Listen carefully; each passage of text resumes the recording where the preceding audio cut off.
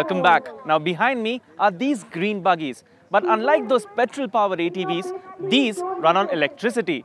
Yes, these are e-Bajas and they're making the debut at this year's Mahindra Baja SAE 2015. So here's their story. and growing and contributing. Beyond Boundaries, the theme for the Mahindra Baja SAE India 2015 was an apt choice. For this 8th edition featured a new event that introduced electric vehicles to the Baja format.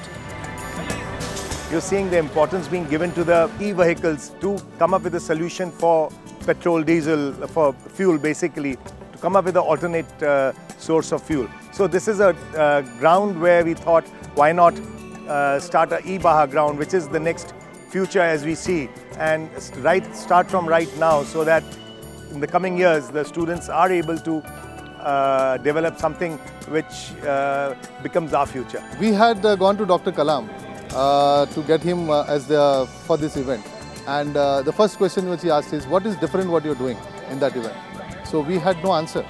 So he straight away said, "Was if you're doing something interesting and do something new, I would look at it." That was e-Baja generated. He said, "Why don't you look at e-Baja? Why want alternate fuel, alternate energy to be used in your uh, uh, in your uh, events?" But the journey to the future began with small steps. Since it was uncharted territory, only eight teams were chosen to participate in what would become the world's first e-Baja event. All of these teams were supported by Mahindra Reva with technical assistance, subsidized electrical components, and most importantly, design level lessons to get their buggies up and running. This event, what once it grows, essentially creates the talent pool and the people who are already equipped to work in this emerging technology domain. So today you don't have any university specifically focusing on uh, such type of uh, curriculum where you're actually going on electric vehicles since it's very quite in the nascent stage.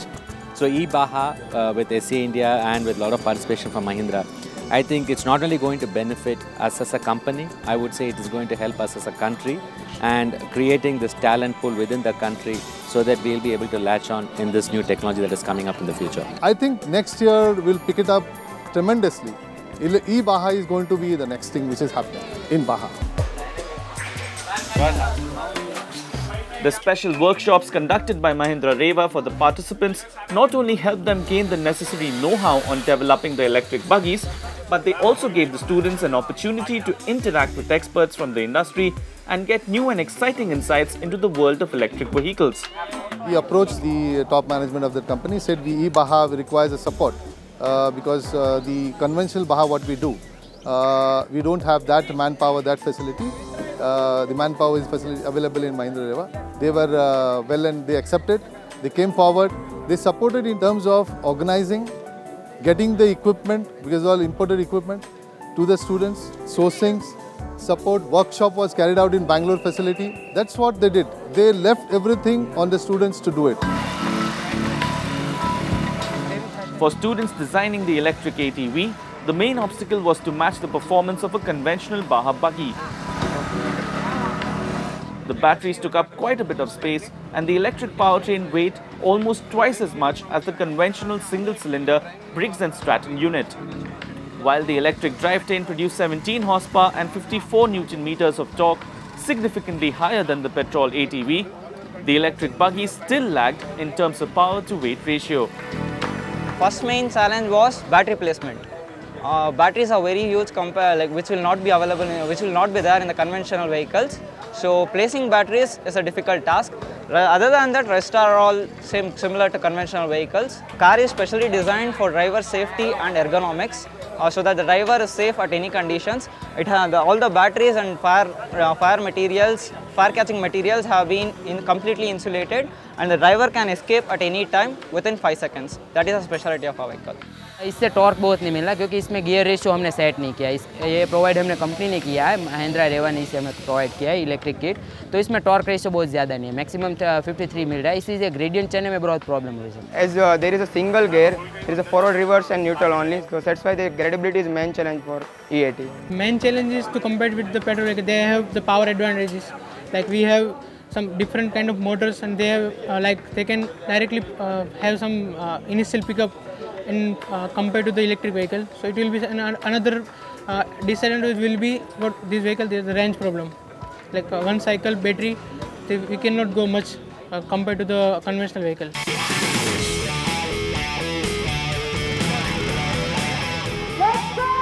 The final test for the eight electric vehicles was an hour-long endurance test.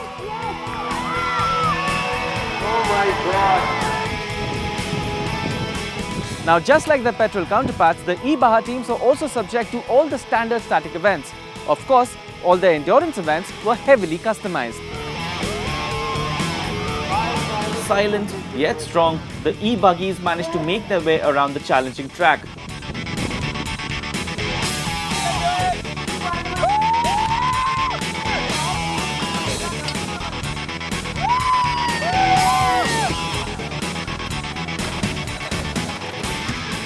An hour or so later, Team Falcon riders from RVR and JC College crossed the finish line first.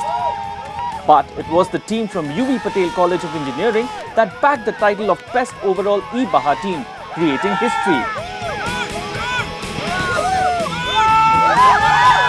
Yes, it was uncharted territory, but the E-Baja event certainly holds a lot of promise for the years to come. On that note, let's take a quick commercial break. When we return, we continue the build up to the grand finale of the Mahindra Baja SAE 2015.